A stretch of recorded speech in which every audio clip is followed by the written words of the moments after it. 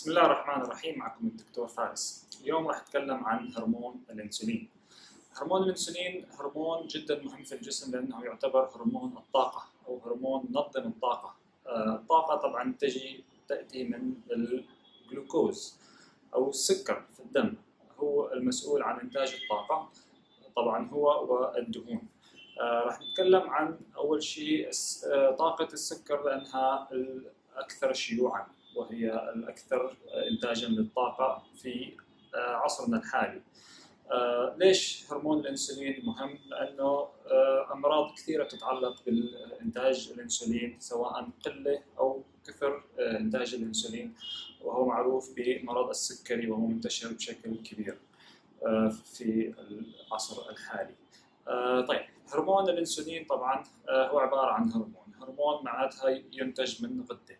ما هو الغدة؟ أو اسم الغدة التي ينتجها هو البنكرياس. أين موجود هو البنكرياس؟ موجود في البطن.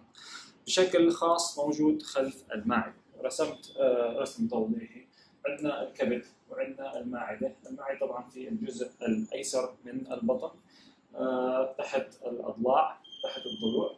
آه، المعده وخلفها مباشرة يوجد البنكرياس طيب البنكرياس طبعا هو غده صغيرة طبعا بهذا الحجم تقريبا مش لكل شخص هو تقريبا تختلف الحجم فهو تعتبر بهذا الحجم.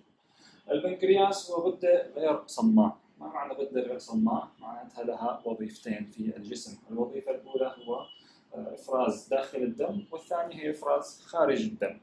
آه، إفراز آه، خارج الدم معناتها هو الإفراز داخل الجزء القناة الهضمية وهي عصارة هاضمة تعتبر عصارة هاضمة.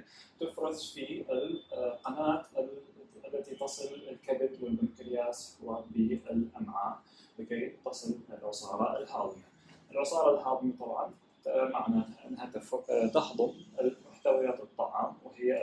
البروتين والكربوهيدرات والدهون.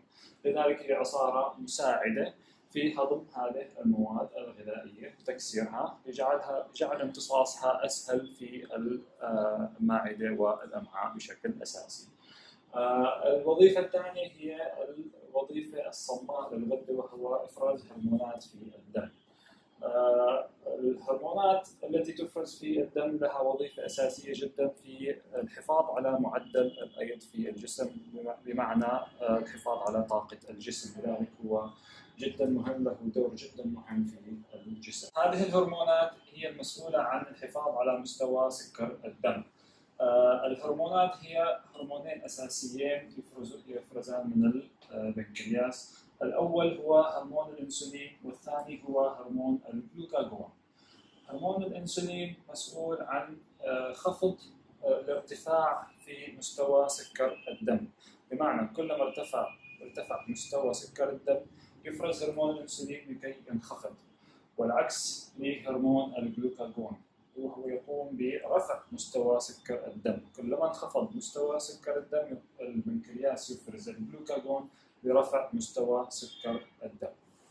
آه هذه الهرمونين آه هي أحد خمس هرمونات تفرز من البنكرياس في الدم ووظيفتها أساسية جدا في الجسم الآن حنتكلم عن الإنسولين الإنسولين آه، جدا مهم لأنه آه، انتشر آه، مرض السكري بشكل كبير في العالم حاليا.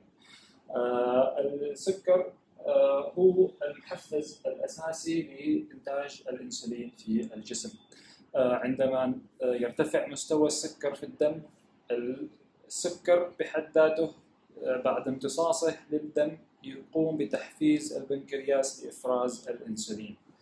هذه النقطة مهمة لأنه كلما ارتفع سكر الدم يرتفع مستوى إفراز سكر هرمون الأنسولين لذلك نجد أن الأنسولين آه، أو وظيفته الأساسية هو آه، هرمون بناء أو أنابوليك للحفاظ الكمية storage it's an anabolic or storage hormone آه، ومدة صلاحيته في الجسم هي 6 إلى 12 ساعة. آه، ما هي وظيفة الأنسولين؟ وظيفته هو مثل ما قلنا البناء. لذلك راح نشوف حال الآن ما معنى البناء. آه، هذا تقريبا أو راح نشبهها بخلية الجسم. آه، الهرمون الإنسولين يعتبر مفتاح لخلايا الجسم لكي يسمح بالخلية من الاستفادة من الجلوكوز أو السكر.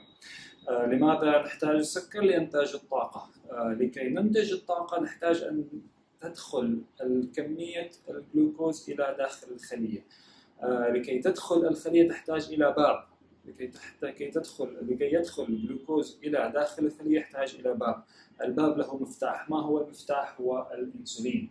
الأنسولين يقوم بفتح الباب يفتح باب في الخلية لكي يسمح بدخول الجلوكوز داخل الخلية والاستفادة منه لإنتاج الطاقة. طبعا عندما تنتج الطاقة يقوم الجسم بالبناء. يحتاج الجسم للطاقة لكي يبني خلايا جديدة في الجسم. آه، ما هي الأعضاء التي تقوم بالبناء بشكل أساسي في الجسم هو الكبد والعضلات والأنسجة الدهنية. هذه الخلايا آه، عليها أكثر مستقبلات للأنسولين لكي تقوم ببناء خلايا جديدة في الجسم. الآن راح نشوف طريقة استهلاك هذه الأنسجة للأنسولين. الأنسجة الأساسية مثل ما قلنا هي الكبد العضلات والأنسجة الدهنية.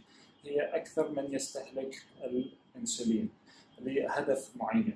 في الكبد عندما يتم فتح البوابة عن طريق الأنسولين للجلوكوز يقوم الكبد بتحويل الجلوكوز إلى جلسرين أو آه، ما يسمى بالجلايكوجين. هذه عبارة عن طاقة كامنة آه، يمكن أن تتحول إلى جلوكوز فيما بعد أو يمكن أن تتحول إلى دهون لكي تخزن في الجسم. الأنسجة الثانية هي العضلات. العضلات عندما يقوم الانسولين بفتح البوابة للجلوكوز يدخل الجلوكوز ويتحول إلى طاقة للحركة.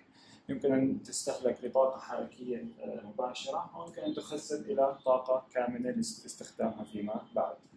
النوع الثالث هو الأنسجة الدهنية. عندما يقوم الأنسولين بفتح الباب للجلوكوز ودخول الأنسجة الدهنية يتحول الجلوكوز إلى دهون بشكل مباشر يتحول إلى جلوكوز دهون أو ليبيدز آه، الدهون هو المصدر أو الأساسي للطاقة الكامنة في الجسم.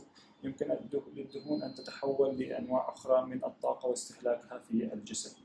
طبعا يتم تخزينها في داخل الأمعاء أو تحت الجلد في الجسم.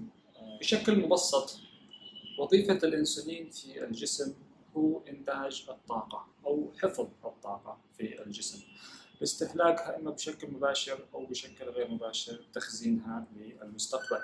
آه، محفز الإنسولين مثل ما قلنا هو الجلوكوز أو السكر.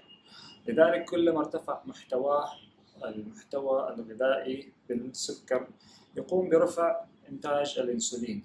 رفع إنتاج الإنسولين معناه انتاج آه، تخزين طاقة كامنة أكبر في الجسم على شكل دهون. لذلك هو آه، بشكل أساسي مرتبط بالسمنة.